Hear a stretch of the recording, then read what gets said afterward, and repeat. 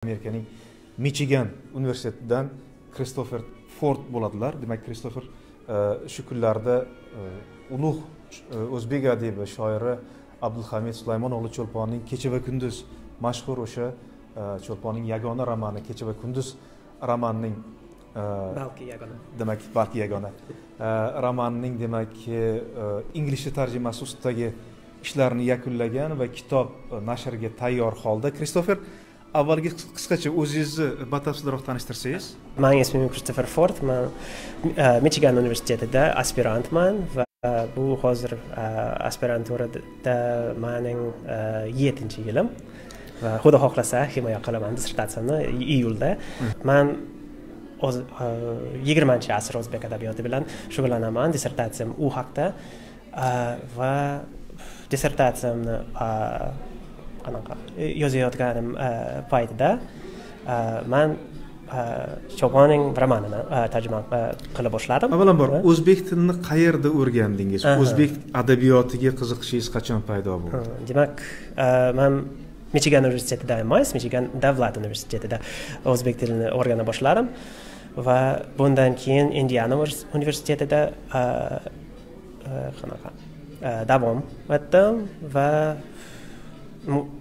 qanaqa rasmiy rasmiy darslarim u yerda qanaqa закончить o'zbekistonni o'zida ham o'ziga ham safar qildingizmi o'rgandingizmi va undan keyin o'zbek tilini o'zbek tili ko'nikmalarimni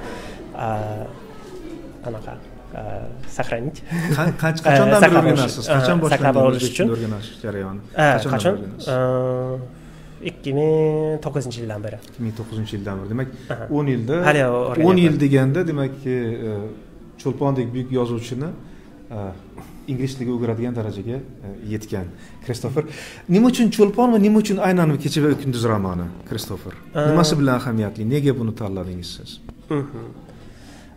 Demak cho'lponning nasri qanaqa aytay. Ingliz tilida shunaqa maqola maqol bor. Manga gapirdi. Demak uning nasri bu baribir nazm va bu nasrdagi nazm manga juda yoqib qoldi. Va ya'ni she'riy yo'lda yozilgan bir asar bir poetik asarga o'xshaydi shundami ya'ni nazm nasrdagi nazm deb ta'rif beryapti kristofer demak cho'lponga va bu o'ziga xos bir ta'rif. To'g'ri ta'rif. to'g'ri to'g'ri. Endi nimasi bilan tortdi sizni o'ziga? Deylik o'sha bilamiz endi mana e, o'zbek e, prozasini o'sha nasrni asoschisi abdulla qodir qodiriy amerikada o'tgan asari tarjima tarjima bo'ldi. Mehrobdan chayon kabi asarlar tarjima bo'ldi. E, cho'lpon mehrobdan chayon tarjima qilindimi? bo'lish arafasida bilishimcha. Demakki endi balki. Endi masalan qodiriy bilan solishtirganda deylik siz bu asarlarni o'qigan bo'lsangiz kerak hoynahoy qodiriy bilan solishtirganda cho'lpon nimasi bilan farq qiladi ikkalasi ham o'zbek e, demak e, klassiklari deylik zamonaviy o'zbek e, o'sha yigirmanchi asr prozasini boshlab bergan nasrni boshlab bergan klassiklari. Man endigina bu haqida yozayotgandim mehmonxonamda. Chunki dissertatsiyani yozib tugayapman. Demak manimcha cho'lpon qanaqa adabiyotga ko'proq kinoya bilan munosabat ir munosabati bor demak u o'zining obrazlari ustida qanaqa? Parodiya qiladi balki qanaqa? Kuladi ba'zan va bu abdulla qodiriyda yo'q. Ya'ni qodiriyni tilidan ko'ra o'ynoqroqmi bu? Ironiya ko'proq demoqchisiz endi masalan e, tarjima jarayoni qanaqa kechdi? E, nimalardan qaysi manbalardan foydalandingiz deylik o'sha lug'atlardanmi? Qanchalik qiyin bo'ldi sizga tarjima jarayoni? Tarjima qila boshlagan paytda juda qiyin bo'lgan chunki bu o'zbek o'zbekistonda yashaganimdan avval va shuncha yaxshi gapira olmadim o'sha vaqtda lekin o'zbekistonda yashab biroz tilga kirganimdan keyin oson qanaqa borib borib qoldi va bundan tashqari o'zbek do'stlarim o'zbek do'stlar bilan tanishgandim va ularning yordami bilan ishlay boshladim va va hamid ismoilovga juda ko'p hamid ismoilov kecha va kunduzni rus tiliga o'girgan ayni paytda ha o'z vaqtida shundaymi endi mana cho'lponni ba'zi xatolar bor o'sha deylik mana lekin kam mana she'rlar bor demak xalq og'zaki ijodidan foydalangan cho'lpon nazm bor demak siz aytmoqchi yoki deylik ko'plab maqollar matallar bor qochirmalar bor deylik bularni tarjimasi qanaqa kechdi? Masalan siz duch kelgan bironta deylik ibora bir qiziq so'z. Bo'ldimi shuni topishga ma'nosini tushunishga qiynalgan va o'sha narsani bir o'sha so'zni etimologiyasini o'rganish jarayonida qiziq bir holatlarga duch keldingizmi? Ha ha. Bu bu bor albatta. Masalan manimcha miroqub qanaqa fohisha maryam bilan gapirish ha demak islohotxonada andijondagi islohotxonaga borgan payt.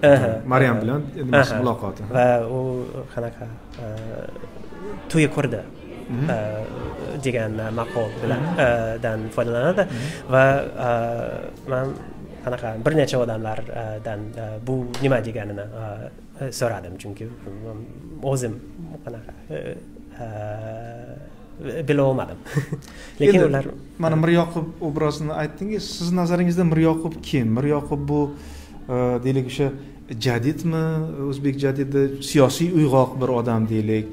Yo bir shu o'rtadagi bir mahalliy mahalliy burjua vakilimi siz uchun kim o'zi miryoqub juda murakkab obraz miryoqub albatta mahalliy burjua va romanning oxirida jadid qanaqa bo'lib qoldi va manimcha ikkinchi romanda u sotsialist bo'ladi. Chunki qozondagi tatarlarni bir jadidlik harakati ta'sirida bir ta'sirga tushgan bir nima va boshqa jadidlarga o'xshab u kommunistik partiyaga kiradi. Balki miroxub cho'pon uchun apologiyasi. Umuman cho'lponni ijodini o'rganish tadqiq qilish tarixi qachondan boshlangan amerika qo'shma shtatlarida qanchalik o'rganilgan tadqiq qilingan deylik? Man yo umuman. Umuman. Umuman? Manimcha